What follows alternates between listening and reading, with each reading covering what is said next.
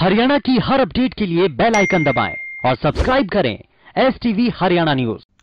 और रक्षा मंत्री राजनाथ सिंह की मौजूदगी में आज पंडुबी खंडेरी नौसेना के बेड़े में शामिल होगी। पंडुबी आईएनएस खंडेरी के बेड़े में शामिल होने से नौसेना को साइलेंट किलर की ताकत मिलेगी। आईएनएस खंडेरी भारत की दूसरी स्कॉर्पियन वर्ग